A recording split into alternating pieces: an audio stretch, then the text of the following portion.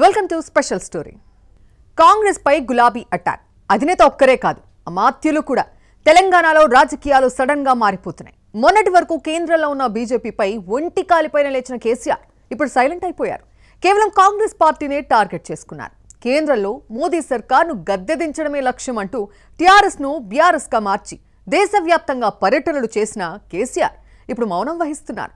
Delhi liquor స్కామ్లో చిక్కుకున్న కవితను కాపాడుకునేందుకు బీజేపీతో సయోధ్య కుదుర్చుకున్నారో లేకపోతే బీజేపీని లైట్ తీసుకున్నారో కానీ పూర్తిగా కేసీఆర్ వైఖరిలో స్పష్టమైన మార్పు కనిపిస్తోంది. అయితే ఆ ధోరణి కేవలం అధినేత కేసీఆర్ వరకు మాత్రమే పరిమితం అవ్వలేదు ఆయన మంత్రివర్గం అనుచరగణం సైతం కేసీఆర్నే ఫాలో అవుతోంది. తాజాగా తెలంగాణలో జరుగుతున్న బహిరంగ సభల్లో కేసీఆర్ కానీ ఆ పార్టీ నేతలు కానీ ఎక్కడా బీజేపీని పల్లెత్తు మాట అనడం లేదు. కొద్ది రోజుల క్రితం తెలంగాణలో కీలక మంత్రులైన కేటీఆర్ హరీష్ రావు మల్లారెడ్డి శ్రీనివాస్ గౌడ్ వంటి నేతలు అసలు బీజేపీ జోలికి పోలేదు. తాజాగా పాలమూరు జిల్లాలో పర్యటించిన కేటీఆర్ ఎక్కడా బీజేపీ ప్రస్తావనే తీసుకురాలేదు.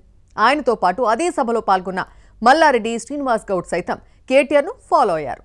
ఇటీవల జహీరాబాద్లో జరిగిన అభివృద్ధి పనుల శంకుస్థాపనలో పాల్గొన్న హరీష్ రావు సైతం ఎక్కడా బీజేపీ పేరు ఎత్తలేదు. బీఆర్ఎస్ అభివృద్ధిపై మాట్లాడి కాంగ్రెస్పై విమర్శనాస్త్రాలు సంధించారు. తెలంగాణలో మారిన రాజకీయ సమీకరణాల నేపథ్యంలో బీఆర్ఎస్ నేతలు రెండు అంశాలని ప్రధానంగా ప్రస్తావిస్తున్నారు. బీఆర్ఎస్ పదేళ్ళ పాలనలో చేసిన అభివృద్ధితో పాటు కాంగ్రెస్ పార్టీపై విమర్శలు చేయడం ఇదే ధోరణి అటు అగ్రనాయకత్వంతో పాటు కింద స్థాయి కేడర్లోనూ కనిపిస్తోంది.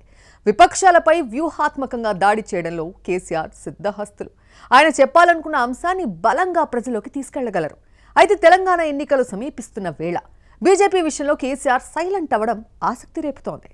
ఇదే వాళ్ళ స్పెషల్ స్టోరీ. రేపు మళ్ళీ కలుద్దాం. అంటే దానికి వాచింగ్ ఏపీ జ్యోతి.